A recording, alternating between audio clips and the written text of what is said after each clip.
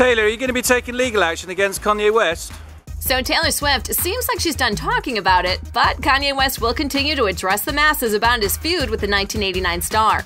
By now, you have to know about Taylor and Kanye's newest issue over the Snapchat recording of their conversation over his line in the song Famous, where he refers to her as a that he made famous, after saying he thinks he'll still have sex with her.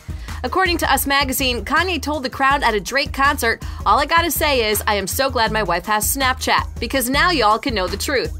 And can't nobody talk about Ye no more. The truth being the implication that Taylor is a liar. Taylor maintains that she was cool with the sex part of the song, but didn't approve of him referring to her as a Taylor's reputation as a perfect angel has been damaged, and appears that Kanye still wants to hammer that message home.